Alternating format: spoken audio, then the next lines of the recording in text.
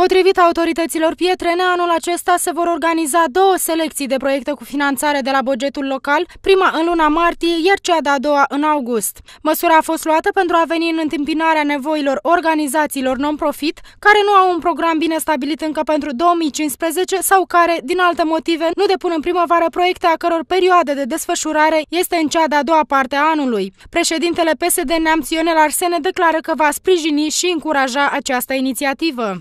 Avem nevoie neamț de o societate civilă dezvoltată și implicată pentru nemțeni, dar și ca aceasta să mențină un parteneriat permanent cu instituțiile publice. De aceea încurajez participarea organizațiilor neguvernamentale la selecția proiectelor din domeniile cultură, social, educație civică, protecția mediului, sport și activități pentru tineret, care vor fi finanțate de primăria Piatra Neamț. Colega mea, doamna viceprimar Aurelia Simionică, are întregul meu sprijin și al PSD Neamț pentru dezvoltarea unei relații cât mai bune cu reprezentanții reprezentanții societății civile care să permită o reprezentare adecvată a intereselor cetățenilor din Neamț.